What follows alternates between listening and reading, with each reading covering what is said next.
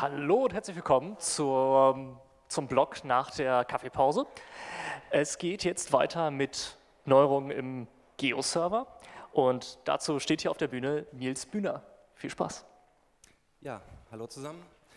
Nils Bühner mein Name. Ich werde jetzt äh, über Neuerungen im Geo-Server sprechen. Äh, Im Grunde geht es dabei um die Neuerungen, die es so im Laufe des letzten Jahres gegeben hat. Ein Kollege von mir hatte diesen Vortrag äh, letztes Jahr auf der Foskis in äh, Passau gehalten und ich habe da im Grunde dann einfach weitergemacht an der Stelle. Und vorweg, ich werde gleich ein paar Worte über mich erzählen, was ich so mache, wie ich mit dem Geoserver zu tun habe. Ähm, dann werde ich ganz kurz erläutern, was der Geoserver überhaupt ist, äh, werde mich da aber auch nicht sonderlich lange dran aufhalten und äh, anschließend werde ich dann natürlich auf den eigentlichen Inhalt äh, eingehen.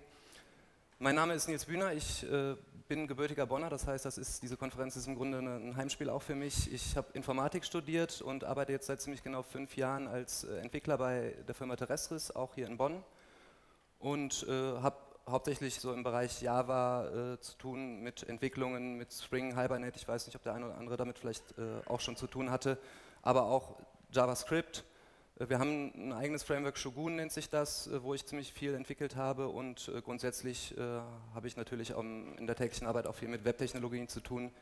Und ich hatte auch gemeinsam mit einem anderen Arbeitskollegen vor zweieinhalb Jahren die Ehre, ähm, für eine Woche in London zu sein. Da gab es so einen, so einen Workshop, Geoserver-Workshop, der da durchgeführt wurde von, von Kernentwicklern des Geoservers.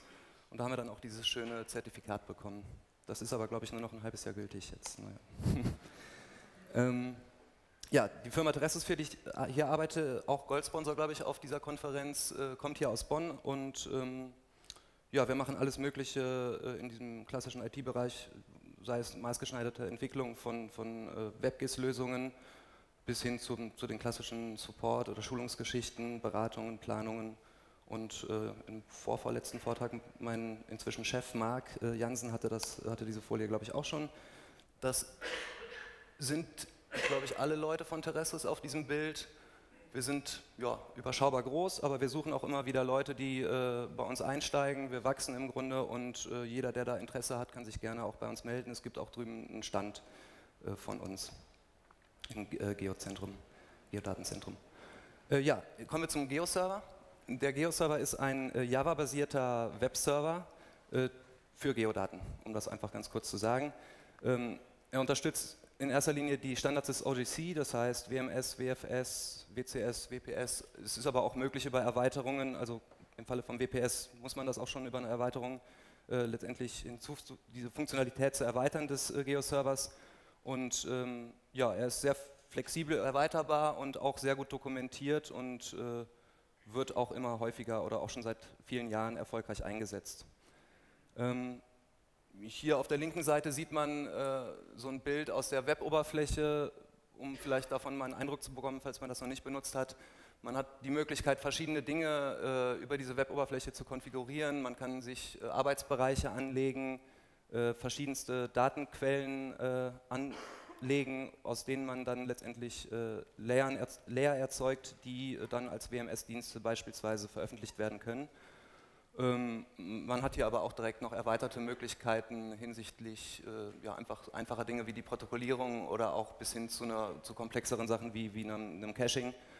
Und ähm, ja, es gibt einen ja, Release-Zyklus beim Geo-Server, dass letztendlich alle zwei Monate, wenn ich mich nicht täusche, äh, immer ein neues Release rauskommt. Und das Ganze ist so ein bisschen zweigeteilt in so ein Stable- und Maintenance-Branch, sage ich jetzt mal. Ähm, jetzt steht hier auf der Folie, dass die aktuelle Stable-Version 2.12.2 ist. Das ist seit gestern, glaube ich, nicht mehr gültig, weil gestern ist Version 2.13 rausgekommen äh, als aktuellste Stable-Version. Und man sieht das so ein bisschen, dieser grüne Bogen, äh, das sind jetzt hier die, die Stable-Releases und ähm, nach der Version 2.8.2 beispielsweise war dann das nächste Stable Release die Version 2.9.0, wo dann auch in der Regel immer neue Features wirklich reinkommen. Und dieser Maintenance Branch äh, dient letztendlich dazu, um einfach noch Bugfixes dann auch äh, da mit reinfließen zu lassen. Und hier nochmal ein anderes Bild, wo das vielleicht auch ein bisschen anschaulicher noch daraus hervorgeht. Ja, so viel zu, zu dem Release-Zyklus. Ähm, wie ich schon sagte, ich werde mich jetzt auf die Änderungen äh, fokussieren, die, die es seit Mai letzten Jahres gibt, beziehungsweise seit der letzten Foskis. Das äh, erste Release nach der letzten Foskis war Version 2.11.1 und äh, im Grunde bis, hier steht wieder 2.12.2, gestern ist 2.13 rausgekommen, ich habe aber auch auf der letzten Folie noch 2.13 äh, als Release-Kandidat und im Grunde inhaltlich tut sich das an der Stelle dann auch nichts mehr. Ähm, ich habe mich auch nur auf die Stable Releases fokussiert, weil das in der Regel die Releases sind, wo wirklich auch neue Features mit äh, reinkommen. Und äh, ich sag mal, Bugfixes gibt es da auch immer wieder, aber äh, jetzt jeden kleinen Bugfix aufzulisten, ist vielleicht auch nicht so sinnvoll dann in der kurzen Zeit. Ähm, ja, und es gibt halt nicht nur den Geo-Server als solchen, sondern es gibt vor allem auch eine, eine ganze Menge an Erweiterungen oder Plugins, wie man das auch immer nennen möchte, oder aber auch Community-Modulen. Der Unterschied an der Stelle besteht darin, diese es gibt offizielle Plugins quasi, die man sich installieren kann und es gibt aber auch noch sehr viele Community-Modules, die nicht offiziell unterstützt sind, die man sich aber auch installieren kann, ähm, wo man dann vielleicht ein bisschen vorsichtiger sein muss, ob man sich da immer hundertprozentig darauf verlassen kann, dass auch wirklich alles funktioniert. Ähm, ja, die erste Version, die dann im Mai 2017 rausgekommen äh, ist, ist die Version 2.f1 und da gibt es direkt im ersten Punkt hier diese, dieses Sicherheitsfeature, äh, ich habe das selber irgendwann festgestellt im Laufe des letzten Jahres, dass ich im Rahmen irgendeiner Entwicklung mich da häufiger irgendwie mal anmeldete im Geoserver und dann dauerte das auf einmal äh, irgendwie drei Sekunden oder ich, ich habe irgendwie das Gefühl gehabt, irgendwas stimmt nicht mehr, bis mir dann jetzt in Vorbereitung auf diese Folien äh, klar wurde, dass das letztendlich so ein Sicherheitsfeature ist. Man kann jetzt nämlich einstellen, ähm, ja, um so einer Brute Force-Attacke irgendwie vorzubeugen, dass wenn da in zu kurzer Zeit zu oft versucht wird, sich einzuloggen, äh, dass das dann halt einfach erstmal äh, abgeblockt wird oder dass es ein bisschen länger dauert. Ähm, es gibt ein neues, oder es gab, gibt seit dieser Version ein neues Community-Modul, ähm, um Mapbox-Styling zu verwenden. Ich persönlich habe das noch nicht benutzt, ähm, aber das ist möglicherweise für den einen oder anderen auch interessant. Äh, es ist weiterhin möglich, NetCDF als Output-Format zu nutzen im Rahmen von GitCoverage. Äh, NetCDF ist so ein wissenschaftliches Austauschformat, so ein binäres Dateiformat. Ich habe es ehrlich gesagt auch noch nie benutzt, aber äh, vielleicht ist auch das interessant. Und dann gibt es wie in jedem Release äh, immer noch die ganzen Bugfixes. Beispielsweise gab es ein Problem ähm, über die REST-Schnittstelle, die letztendlich das ermöglicht, auch den Geo-Server äh, programmatisch zu konfigurieren, äh, ohne die Web-Oberfläche. Ähm, beispielsweise dort war es offenbar nicht mehr möglich, einen Workspace anzulegen. Also durchaus eine grundlegende Sache auch. Ebenso gab es dann die Fixes im, im GWC, damit ist der Geo-Web-Cache gemeint, oder in der, in der Web-Oberfläche. Ähm, Im Juli dann, zwei Monate später, äh, Version 2.11.2, ein sehr äh, schönes Feature, wenn man sich so ein Legendenbild abruft äh, über WMS Get Legend Graphic, ähm, wird ja auch die Bounding Box mitgeschickt und wenn man dann zusätzlich noch diesen äh, Parameter Legend Options Count Matched True mitschickt, dann wird jetzt in das Legendenbild in diesen Klammern hinten dran noch die Anzahl der in der angefragten Bounding Box, ähm, also die Anzahl der Features, die in dieser Bounding Box liegen, wird dann in der Legende direkt mit angezeigt. Das ist, äh, äh, finde ich, eine sehr schöne Sache. Weiterhin ist es so, dass beispielsweise bei dem WMS Get Feature Info, wenn das Infoformat GML war, äh, Geometrien jetzt auch äh, reprojiziert werden. Das war vorher offenbar noch nicht der Fall. Und wieder eine ganze Menge Bugfixes. Ich habe hier immer noch die, äh, diese ähm, ja, also nicht Release Notes, das waren dann immer auf, aus dem, aus dem GeoServer-Blog, im Grunde vielleicht sind es auch Release Notes in einer ähm, bestimmten Weise ähm, mit verlinkt. Wenn da jemand interessiert ist, nochmal drauf zu schauen, äh, kann er das machen. Die sind im Grunde auf jeder Folie. Ja, Version 2.12 äh, im Oktober ist dann der Sprung gewesen von 2.11 auf 2.12. Da sind dann wieder ganz, eine ganze Menge wirklich neuer Features auch hinzugekommen. Deswegen gibt es jetzt zu der Version auch mehrere Folien. Ähm, Zunächst einmal wurde das äh, RESTlet-Framework ersetzt durch Spring MVC. Das ist vermutlich für die Leute, die das benutzen, äh, macht das am Ende keinen Unterschied. Aus technischer Sicht war das sicherlich äh, einiges an Arbeit für nötig. Äh, und da auch der Geo-Server sonst äh, im Grunde auf Spring basiert, ist das äh, an der Stelle sicherlich auch sinnvoll, ein sinnvoller Schritt gewesen. weiterhin ist es so, dass Swagger als Dokumentation für die REST-API jetzt genutzt wird. Ähm, ich weiß jetzt nicht, also REST ist halt letztendlich ein Paradigma, das letztendlich äh, eine Schnittstelle äh, beschreibt, um, ähm, äh, um die ganzen Entitäten des Geoservers, Datenquellen, Layer, Stile und so weiter, halt auch programmatisch über HTTP-Befehle ähm, konfigurieren und steuern zu können. Und äh, ich hatte da heute Morgen nochmal auf den Link geklickt, da kam dann leider nicht viel, deswegen mache ich es jetzt auch nicht. Ähm, als ich die Folien gemacht habe, kam zum Glück etwas und im Grunde sieht man hier beispielsweise das Anlegen eines oder das Updaten eines Data Stores über HTTP Put und hat dann auch direkt äh, verschiedenste Informationen an der Stelle. Das äh, ist sehr schön, weil man diese, diese Swagger-Informationen auch nutzen kann, möglicherweise dann für andere Clients, äh, wo man dann einfach nur so eine Adresse angibt. Dann werden sich diese ganzen Informationen von hier rausgelesen und dann hat man da vielleicht sogar direkt eine Oberfläche, wo man irgendwie schon klicken kann und äh, Dinge tun kann, die man natürlich auch in der Oberfläche machen kann, aber ähm, ja, das ist einfach eine äh, sehr schöne, sinnvolle Sache. Dann gibt es eine neue Datenquelle, äh, Cascading WMTS. Ähm, es gab vorher schon äh, kaskadierende WMS-Dienste. Das ist im Grunde simpel. Wenn ich jetzt ein WMS oder inzwischen dann auch den WMTS äh, kaskadierend äh, einbinden will als Datenquelle in meinem Geo-Server, muss ich im Grunde nur ähm, die, ähm, ja, die Quelle eines anderen WMS-Dienstes äh, angeben und dann würde quasi der, der entfernte WMS-Dienst über meinen Geo-Server ausgeliefert werden. Also im Grunde wird der eigene Geo-Server dann zu, zu, einem Proxy für einen, für einen anderen äh, Dienst. Und wie gesagt, für WMS gab es das vorher schon, inzwischen ist das dann auch für WMTS möglich. Ähm, Im Rahmen des Stylings äh, gibt es neue Features äh, fürs Labeling.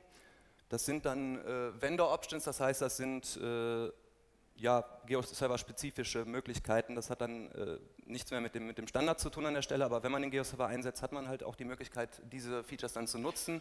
Das sind triviale Dinge wie durchgestrichener Text oder Abstände zwischen Zeichen und Wörtern, äh, aber halt auch gebogene äh, Labels und Labels, die dann ganz gezielt an Polygongrenzen entlanglaufen, auch mit noch Konfigurationsmöglichkeiten, wie oft sich das wiederholen soll oder ja, wie da die Abstände sein sollen und so weiter. Also jeder, der da mit dem Styling zu tun hat, findet da bestimmt was äh, Interessantes. Ähm, auch im Rahmen des Stylings, äh, des CSS-Stylings an der Stelle, CSS-Styling ist möglich äh, über so eine Erweiterung, die man sich installieren muss. Ähm, das Ganze läuft dann im Hintergrund so, dass äh, die SLD-Stile, die man normalerweise benutzt, ähm, letztendlich erzeugt werden oder übersetzt werden aus dem CSS, was man dann mit, diesem, äh, mit dieser Erweiterung nutzt. Und äh, da gibt es beispielsweise eine Code-Vervollständigung in der, in der Oberfläche, was man, glaube ich, auf dieser Folie hier sieht, ähm, dass man dann, wenn man hier äh, so bestimmte Regeln definiert, ähm, direkt schon auch die Vorschläge bekommt, was kann ich überhaupt alles machen. Das ist natürlich sehr hilfreich. Ähm, ich bin jetzt nochmal die Folie zurück. Äh, beziehungsweise so. So.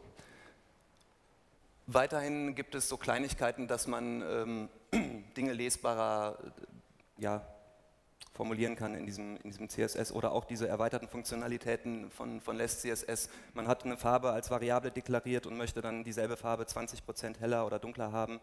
Dann kann man das mit diesen Darken, Leiten äh, und anderen Funktionen ähm, relativ elegant äh, nutzen. Ja, und ähm, das hatte ich ja jetzt schon.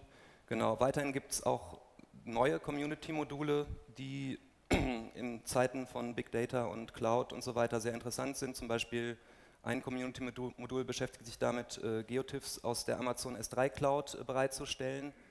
Ähm, da ich jetzt keinen Zugang zu Amazon in S3 Cloud hatte bisher, habe ich das nicht ausprobiert, aber das äh, sieht natürlich auch sehr spannend aus. Ähm, ein Status-Monitoring-Modul gibt es, da werden dann auf einer detaillierteren Ebene die Ressourcennutzung und andere Statistiken auch in der Oberfläche bereitgestellt und kann man sich das alles anschauen. Und ähm, für das Earth Observation Protokoll gibt es dann auch eine Open Search äh, Implementierung. Ja, und dann im November kam Version 2.12.1, das sind also immer diese, dieser, diese zwei Monate, beziehungsweise an der Stelle stimmt das ja dann nicht, äh, aber mehr oder weniger zwei Monate sind es immer. Es gibt ein Projekt, das nennt sich Geofence. Das äh, ist letztendlich ein Projekt, bei dem es darum geht, ähm, den Zugriff auf bestimmte Geodaten äh, einzuschränken für bestimmte Benutzer, dass der eine Benutzer vielleicht nur in einem, in einem, in einem bestimmten Bereich äh, Daten sehen darf, äh, die ein anderer nicht sehen darf. Und dort gibt es auch ein entsprechendes Usergruppen-Rollenmodell und dieses Modell wurde halt übernommen jetzt in, in den Kern des Geo-Servers. Das äh, ist vermutlich auch ein sehr sinnvoller Schritt gewesen, weil auch dieses Geofence früher oder später möglicherweise irgendwie äh, auch in den Kern des Geo-Servers mit, äh, mit reinwandern wird. Ob das passieren wird, weiß ich natürlich nicht, aber das könnte ich mir sehr gut vorstellen. Und ähm, weiterhin gibt es viele, äh, gab es mal wieder viele kleinere Bugfixes, beispielsweise in der REST-API das äh, CORS, was da steht, das steht für Cross-Origin äh, Resource Sharing. Das bedeutet, äh, angenommen, ich habe so eine HTML-Seite, wo ein JavaScript eingebunden ist, dann ist es erstmal äh, aufgrund dieser Same Origin Policy nicht möglich, dass äh, mein JavaScript-Code mit anderen Domains spricht. Das Ganze ist erst möglich, wenn man das quasi äh, auch explizit unterstützt und erlaubt. Äh, dient natürlich der Flexibilität, aber man, es ist ein Sicherheitspunkt und äh, insofern ähm, ja, ist das auf jeden Fall gut zu wissen, dass es auch dort äh, Entwicklungen gibt. Ja, und ansonsten die kleineren Bugfixes an der Stelle, ähm, da muss man, glaube ich, nicht weiter darauf eingehen. Äh, Version 2.12.2 kam dann im Januar raus. Ähm, da ist es jetzt so, dass äh, beim WPS, also WPS steht für Web Processing Service, ähm, auch diese, diese C-Data unterstützt werden in den, in den XMLs. Das war vorher scheinbar nicht möglich. Ähm, in CSS-Ausdrücken können jetzt auch Einheiten verwendet werden. Und es gibt wieder den ganzen Haufen an, an Bugfixes, beispielsweise beim Importer-Plugin, was auch sehr, ein sehr schönes Plugin ist, was wir auch äh, sehr häufig äh, einsetzen. Ähm, kann man jetzt auch Shapefiles mit Leerzeichen in Attributnamen nutzen. Ähm, dieses Importer-Plugin, wie fast alles andere auch, verfügt auch über so eine REST-API. Das heißt, äh, wir haben das ganz konkret genutzt, um dann äh, ja, selber äh, ein bisschen Code zu schreiben, der diese, diese REST-Schnittstellen nutzt, um ähm, ja, einfach Shapefiles hochladen zu können und im Geo-Server veröffentlichen zu können. Äh, also Importer-Plugin ist eine sehr schöne Sache, kann ich auch nur jedem empfehlen. Wenn man sich das installiert, hat man auch in der Web-Oberfläche die Möglichkeit, äh, Daten zu importieren aus äh, verschiedensten Datenquellen letztendlich auch. Ähm, beim WFS-Filter wurde ein Encoding-Problem gelöst und das Anlegen in der, äh, einer Layer-Gruppe in der Oberfläche hat sich auch ein bisschen verändert, beziehungsweise wurde ein bisschen erweitert, glaube ich auch. Und in den Community-Modulen hat sich auch viel äh, getan. Wie ich eingangs schon sagte, ähm, ist gestern, glaube ich, Version 2.13 rausgekommen. Ich hatte die Folien jetzt letzte Woche das letzte Mal aktualisiert, deswegen ist das hier noch Version 13 als Release-Kandidat. Aber inhaltlich hat sich da ähm, nichts geändert. Ich habe das eben nochmal überprüft. Ähm, es gibt ein neues Konzept der isolierten Arbeitsbereiche jetzt. Ähm, ich habe das so verstanden, dass ähm, man hat einen Arbeitsbereich, dem man, dem man einen Namen gibt und gleichzeitig hat dieser Arbeitsbereich immer so einen Namespace, das ist dann so eine, so eine URL, sage ich mal. Und im Rahmen dieser isolierten Arbeitsbereiche ist es jetzt erstmals möglich, dass man äh, zwei verschiedene Arbeitsbereiche nutzen kann, A und B, die aber den gleichen Namespace äh, haben. Und äh, das ist scheinbar im Rahmen von, von Inspire, äh, ist das möglicherweise oder scheinbar sehr hilfreich. Ich äh, weiß jetzt nicht genau warum das ist, aber wenn man hier unten draufklickt und dann dort wieder auf den Link klickt, äh, ist, äh, kann man sich da sicherlich auch schlau machen.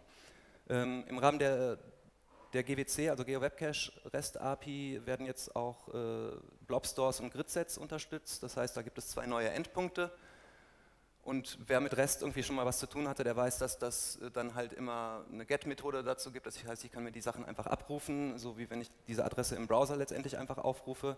Ich kann aber genauso über Post-Methoden äh, neue äh, ja, Einträge letztendlich eintragen oder anlegen und mit Put-Methoden das Ganze auch updaten, wenn ich das möglicherweise programmatisch machen will. Also wenn ich jetzt nicht nur äh, einmal irgendwie mir das äh, in der Oberfläche zusammenklicken will, sondern irgendwie 100 Layer anlegen möchte, dann macht es vermutlich mehr Sinn, das über REST zu machen. In der Oberfläche gibt es jetzt auch eine Autovervollständigung, wenn man äh, beispielsweise äh, so ein Shapefile oder sowas anlegen will. Ich habe das, äh, es gibt so ein, so ein, Bild, wenn man auf den Link klickt. Ähm, und das ist ganz nett, wenn man dann irgendwie schon zu so einem Ordner navigiert ist, beziehungsweise den Pfad eines Ordners angegeben hat, dann werden einem direkt schon die ganzen Dateien, die in diesem Ordner liegen, auch aufgelistet. Das äh, macht das Leben dann auch einfacher an der Stelle. Und hinsichtlich WF, der WFS 2.0 und WMTS 1.0 Implementierungen ist man jetzt auch noch standardkonformer. Ähm, und weiterhin werden auch neue PostGIS-Datentypen wie dieser HStore oder, oder so JSON-Columns unterstützt. Ja, ich schaue auf die Uhr, ich glaube, die 20 Minuten sind jetzt genau rum und ich bin auch durch. Das heißt, jetzt ist noch Zeit für Fragen. Ja, wunderbar, vielen Dank. Erstmal.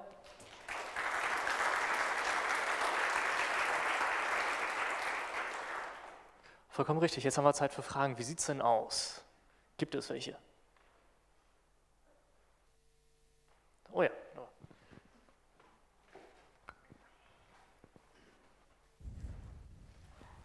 Hallo, ich wollte fragen, ob PostGIS Rastertabellen unterstützt werden oder ob das geplant ist, die zu unterstützen. Das ist eine gute Frage. Ähm, ich habe überwiegend mit Vektordaten zu tun, deswegen weiß ich das gerade leider nicht, aber vielleicht weiß das irgendwer anders hier. Ich weiß es nicht gerade, tut mir leid. aber ich kann das gleich gerne mal nachschauen, gezielt.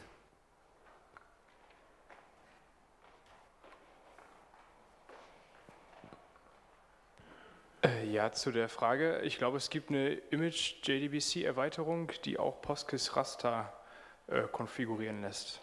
Ja, das hört sich doch gut an. Das wäre dann im Rahmen so einer Erweiterung, die man noch zusätzlich installieren muss, quasi. Das heißt, da reicht es dann nicht, den Geoserver nur zu installieren, sondern müsste sich zusätzlich noch, indem man eine Datei an die richtige Stelle kopiert äh, und den Server einmal neu startet, diese Erweiterung installieren und dann ist das möglicherweise äh, machbar. Diese Erweiterung zu installieren. Ach so, okay. Ja.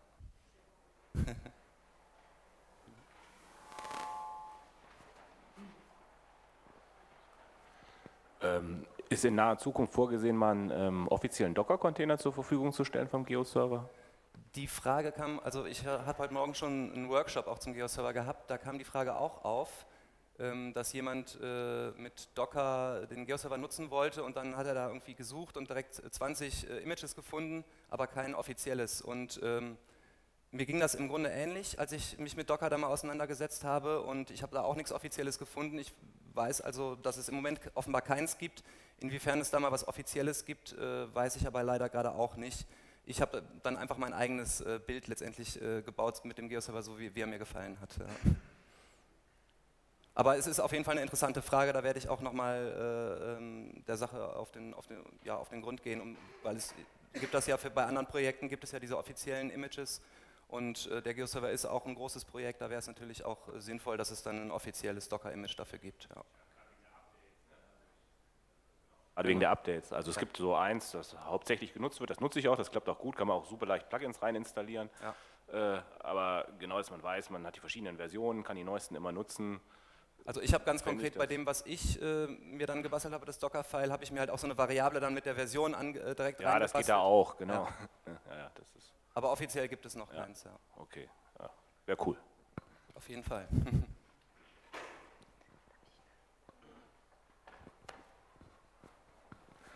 ähm, weil du vorhin die Geofence-Integration auf der einen Folie hattest, da mhm. gibt es ja... Äh, zwei Möglichkeiten, wenn ich das richtig sehe. Einmal das normale Plugin für den Geo-Server und dann das andere als Plugin plus noch ein zusätzliches Surflet, was ich dann im Tomcat fahre, wo ich nochmal deutlich feingranularer einstellen könnte bis zu den einzelnen Feldern runter, was ich äh, an Berechtigungen vergeben möchte. Weißt du, ob das äh, auch äh, mittelfristig umgesetzt wird, äh, in Geo-Server zu integrieren? Ich weiß es leider nicht. Ich hoffe, dass es so ist, weil das auf jeden Fall ein sehr, sehr schönes Feature ist und ähm, auch immer wieder von Kunden natürlich äh, ja, gewünscht ist, dass man da auf einer ganz feinen granularen Ebene diese Berechtigungen steuern kann, wer was sehen darf, bis hin zur Attributebene. Ähm, inwiefern das da gerade wirklich aktiv weiterentwickelt wird oder integriert wird, weiß ich, äh, weiß ich jetzt nicht. Nee. Da kann ich aber nur auch den Tipp geben, dass man äh, auf den, auf den äh, Mailinglisten mal nochmal nachschaut, da, wenn man sich da einschreibt, äh, das, da ist auch immer wieder was los oder dass man die Frage einfach mal stellt, äh, weil man da auch in der Regel äh, sehr schnell eine Antwort bekommt. Ja. Gut, wunderbar. Vielen Dank für die Fragen und vielen Dank nochmal für den Vortrag.